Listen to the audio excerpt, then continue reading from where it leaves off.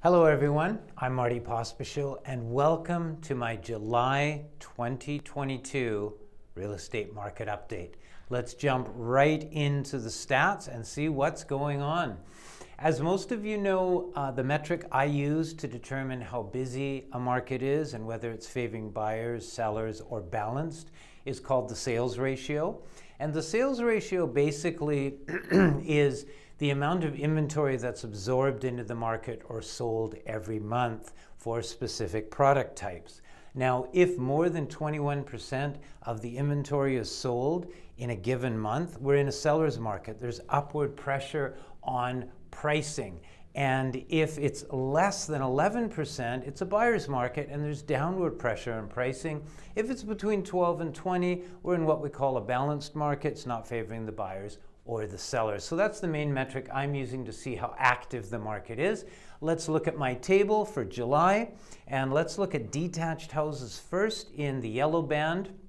Year over year, the activity or the number of detached homes sold uh, in Metro Vancouver is down by 48% from this time last year. The prices, however, year over year for Metro Vancouver for detached houses are up now 13% overall. And this very important stat from last month, the benchmark price has actually fallen 1.7%, the greatest monthly drop in pricing that I've seen um, for many, many months doing these updates. So we can see those prices falling in detached. and for attached townhomes and duplexes, um, we've got a 35% drop in year over year activity. We have a 22% increase in the benchmark price for townhomes and duplexes. And from last month, also, again, a 1.7% drop in pricing just from the previous calendar month. For apartment condos, 36% drop year over year activity, 18% increase in pricing, and last month we had prices increase by 2.2%. So that's interesting.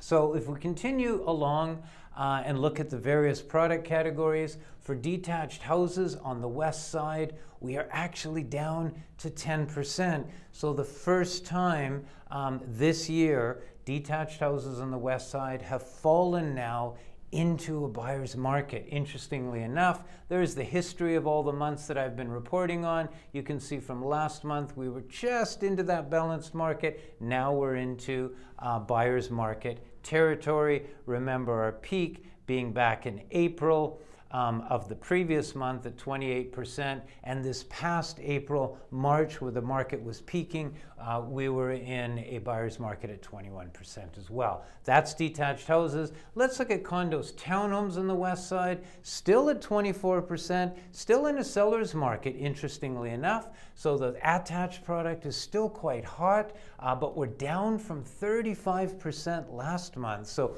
about a 10%, 11% drop in sales activity just from the previous month. So that cooling off is happening quite quickly, but we're still holding on to that seller's market for condos, townhomes.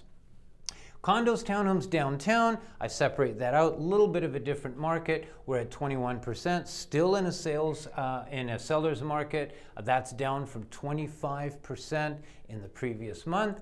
And detached houses east side, um, we're seeing a drop down to 14%, still in a balanced market above that 11% mark, but certainly not in that overheated seller's market that we saw throughout the previous year. Remember, this April, when the market was peaking, we were at 40% sales ratio, so quite significantly cooler and 4% down from last month. Condos, townhomes on the east side, still the hottest subcategory, 36% sales ratio. So if you still got that home, uh, condo or townhome in the east side you're wanting to sell, you're still in a very good closing window, down from 42% last month, but still very, very strong uh, seller's market for condos, townhomes. Vancouver East Side. And if we look at the overall sales ratios, we can see those dropping. If we're looking at a forecast, what's happening? We're definitely in a cooling market prices are definitely falling. Um, we can see why that's happening. And if we're looking at why that's happening, the main driver, as you're all reading, are the interest rates. So on July 13th, we're going to look at another big jump, could be as much as 75 basis points. We're seeing interest rates in the mid 5%. Um, things we have, the rates we have not seen for some time, all with the objective of bringing inflation under control. Um, so our federal government's doing everything they can by increasing those rates. That's the main red market deterrent right now in our market. Also, consumer confidence is down, and the reason consumer confidence has dropped is we're also seeing uh, the cost of goods, inflation still very high uh, at 7.7%. Uh, in Canada, we're seeing uh, a lot of consumers now pulling back from making purchases. I've labeled this as orange. It's not pulling it down as much as the cost of borrowing, but still there. Now, pent up savings, Canadians have saved a lot of money, um, but with the way things are going, looking into summer, from the economy, um, from the cost of goods, the supply chain, inflation, people are holding on to that money. They're not spending it like they were in the beginning of this year. And the one market enhancer that we're still holding on to is the inventory levels. Once that turns orange and um, red uh, and the inventory levels have grown dramatically, that's when we're going to see some major market changes. So we're still at a 30 year historic low for interest levels. They are creeping up. Uh, dropped a little bit in detached. We'll see that later on, uh, but that's what's happening. So consumer confidence we can see business consumer confidence still above pre-COVID line, but the um, consumer, the personal consumer confidence is down significantly and dropping, and that's mainly due to the inflation and cost of goods. Um, tourism is actually coming back. So um, we get a lot of Euro US tourists coming, obviously, non US also building. You can see that back um, from July uh, increasing through to spring. That's good. That's bringing some more money into the province. And employment is also up for BC and growing, and so is uh, employment through Canada. And um, if we're looking at employment uh, levels by wage tier, you can see that lower level uh, is still creeping up, uh, but the medium and high wage earners are well past pre pandemic levels. Uh, unemployment rate uh, right now in BC, we're at 4.5% and federally 5.1%. Uh, so that is good. We're seeing the unemployment decrease, the employment increase. That's also helping the economy. But I love this emoji the cost of borrowing. That's the killer right now. Um, and uh, this is just the monthly rent chart I threw in there. Uh, but the consumer price index is quite interesting. You can see these costs just taking off now on goods, uh, everything from gasoline to food to construction materials. All of these items are going uh, out of control uh, and causing inflation to jump up. You can see some big jumps here in gasoline, uh, transportation, uh, recreation, education. Everything is up, even from last month.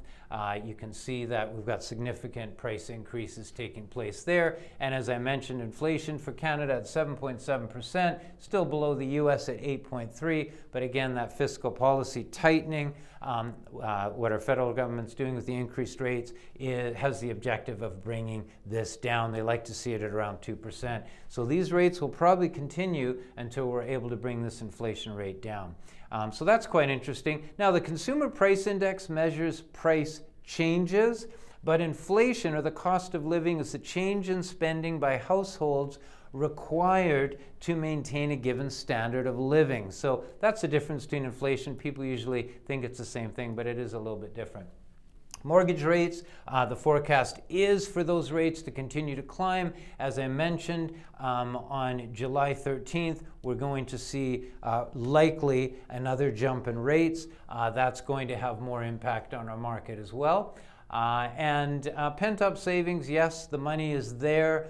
Uh, a lot has been spent, uh, but again, with this inflation, people are holding on to it a little bit tighter. Interest levels. So this is interesting, or inventory levels, new listings and starts. So we got home sales. You can see we have a big drop as of April dropping down. We've got our housing starts. We're a little bit up, but also quite low still. New listings we're still seeing at very low levels. When you see the new listings take off, uh, that's when it's going to turn as a, uh, into a red market deterrent. Um, and if we're looking at inventory levels, you can see where we are here. That's the one thing holding the prices more or less where they are now with these slight drops that we're getting. Um, and if we look at the west side for houses, this is interesting. We just had a, a very marginal drop in our inventory for detached houses. Um, for condos and townhomes on the west side, that's continuing to increase in the inventory. Again, holding quite steady. Average prices, now this is quite interesting because this graph is quite dramatic. Um, detached houses, you can see the drop already being reflected in the average price graph. Same with townhomes and half duplexes and also with apartments. So we're starting to see one of these jagged uh, peaks that we've seen over the last many years. The question is, how far will that go? Nobody knows. Um, and if we look at the um, MLS Housing Price Index, you can see uh, for uh, Vancouver West, you can see that's the rise we had up until our March April market, and then it's been dropping down. And the factors bringing it down are, of course, the BC cooling off period, which is coming uh, to fruition very shortly. The interest rate increases, like we talked about now, is bringing those prices down. Higher taxes, federal policies that they're talking about, uh, bringing in more taxes for people who are selling within a year, and a two year ban on foreign home buyers all of these programs, federal government, and the consumer confidence is falling. Um, blind, uh, banning blind bidding has not been introduced yet, could come. And of course, the listing inventory surge has not turned red yet because it hasn't happened yet. But these are the two outstanding factors for our forecast. Nobody knows what's going to happen, but the trend is looking like it's continuing down, and the media is reflecting this, um, calling for 10 to 20 percent, and in some of the articles, higher in price drops through Canada. That is my July summer update. I hope you enjoyed it. Lots of stats to digest. If you have any questions, um, feel free to pop me an email, marty at pospischilrealty.com, um, and subscribe on YouTube and like us on Facebook so you get these updates as they come out. I'm Marty Pospischil. You take care. Hope you're enjoying your summer and enjoying this beautiful weather we're having.